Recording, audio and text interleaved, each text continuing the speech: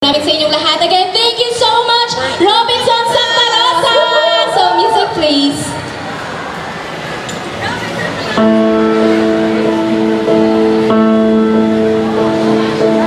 She's just